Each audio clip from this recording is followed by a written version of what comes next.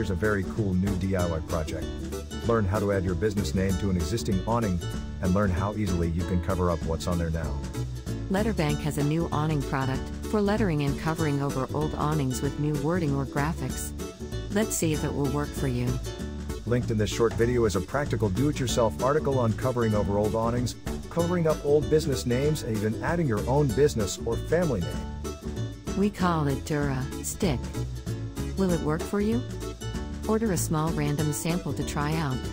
You'll find the link in the article. While you wait for the sample to arrive, send your design and wording along with Photos of your awning.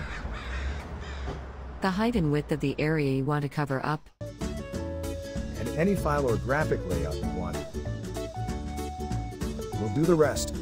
In usually less than a week or two, you'll have your new cover up graphic ready to install.